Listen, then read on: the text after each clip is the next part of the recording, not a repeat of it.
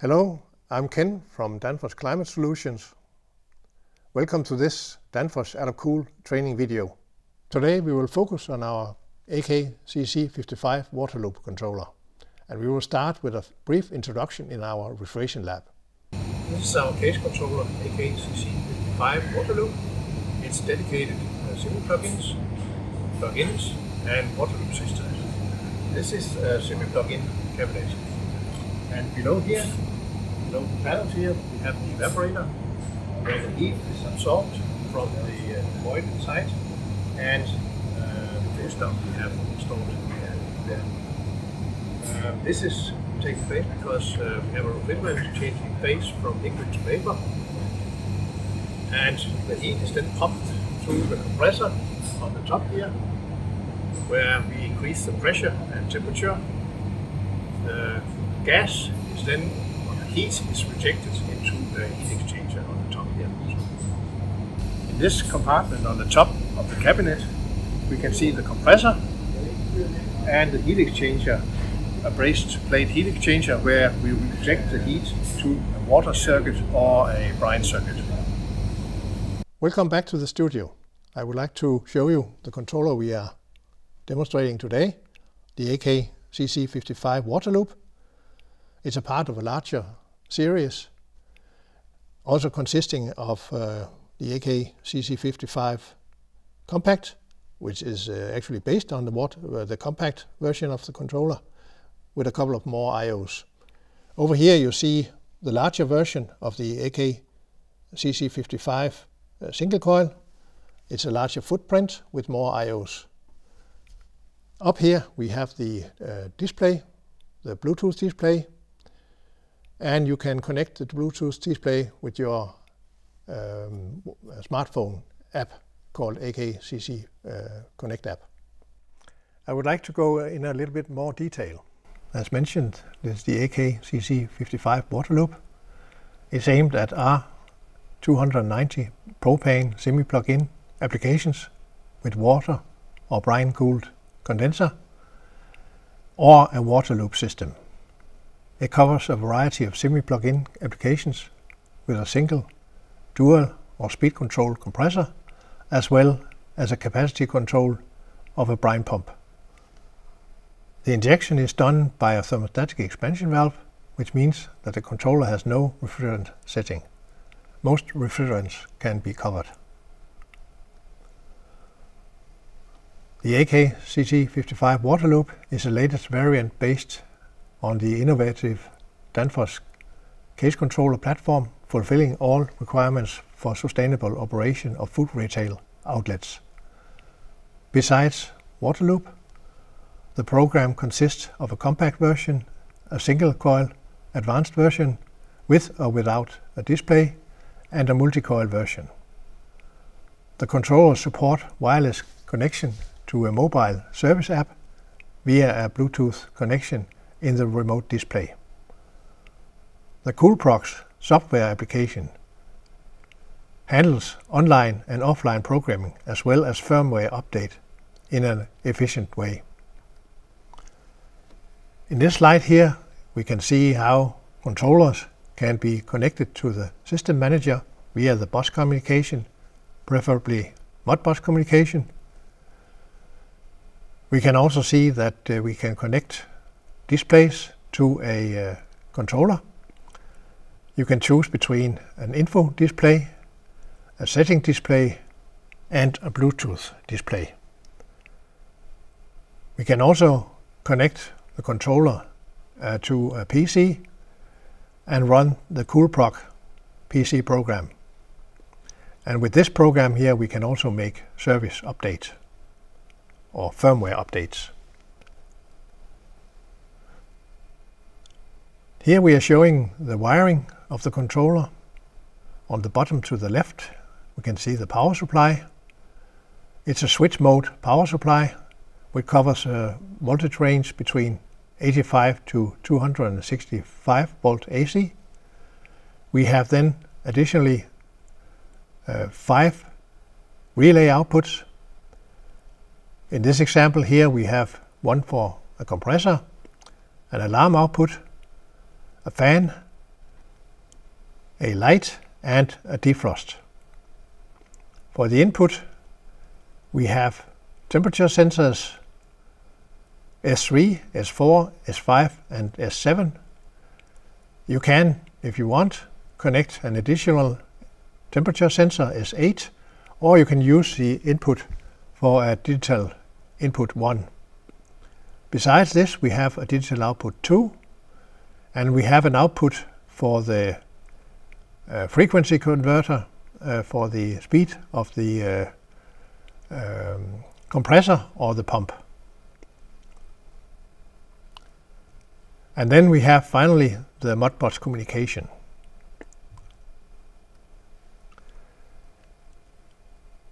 On some of the applications 2, 4 and 6 and 8 you have uh, the option to uh, decide what should be on your IOs, on particularly IOs, uh, the uh, digital output, where you can choose between fan, fan echo, defrost, rail heat, alarm, light, blinds, heating element and condenser fan.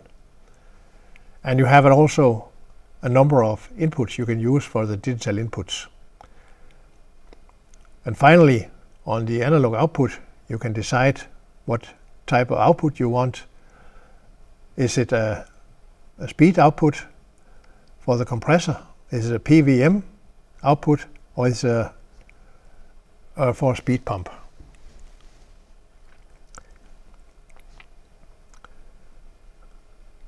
We have different applications. Application number one and two is uh, covers a semi-plug-in cabinet with a single compressor, and we control the compressor capacity on-off in this application. Application number one uh, has selected digital output.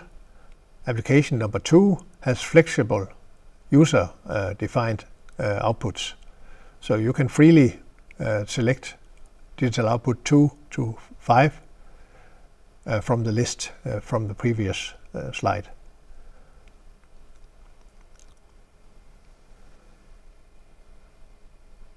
Application 3 and 4 covers a semi-plug-in cabinet with two separate circuits, dual compressors, typically used for propane systems where you want to restrict the charge on each circuit. So the two charge, the two uh, circuits here are uh, completely split. Application 5 and 6 covers a semi-plug-in cabinet with a speed-controlled compressor. The analog output signal can be of the types voltage, frequency or pulse width modulation. And here again, application number six has four flexible digital outputs. You can decide what should be on them. Applications 7 and 8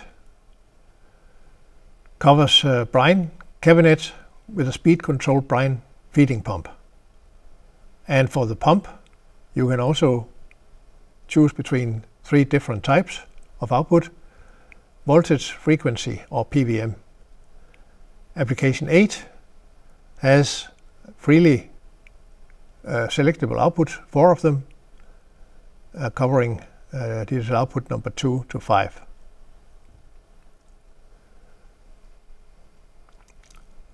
The mobile app via Bluetooth gives the best user experience through wireless Bluetooth connection of mobile app.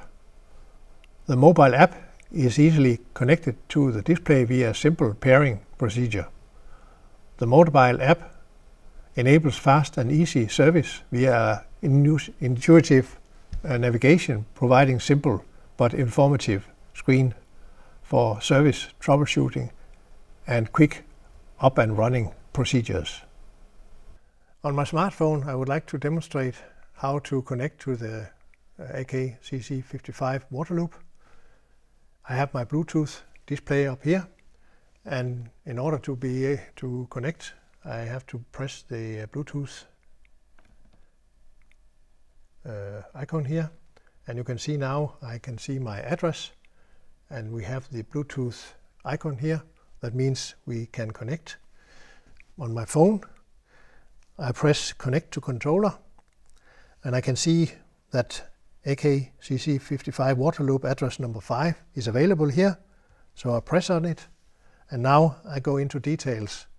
First I get an overview picture of the evaporator and the sensor connected to it and uh, also whether the valve, the solenoid valve is open or closed. I can see my temperatures on S3. I have 2.5 degrees centigrade. The air temperature is also 2.5 degrees centigrade. That's because I use the S3 sensor alone for my air temperature. I can see the S4 temperature has a level of 1.5 degrees centigrade. And I can also see my uh, defrost sensor. It's on 7.2 degrees centigrade minus. And I can also see that my solenoid valve is on. Let's go into um, the uh, controller info.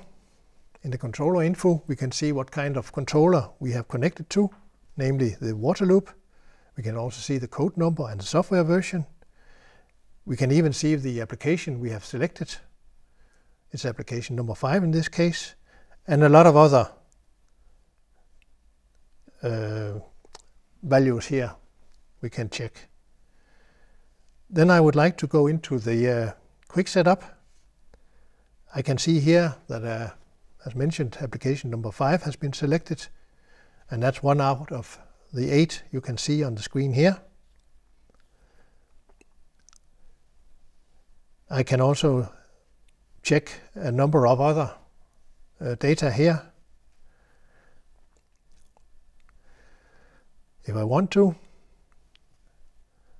Then I can also go into the parameter menu.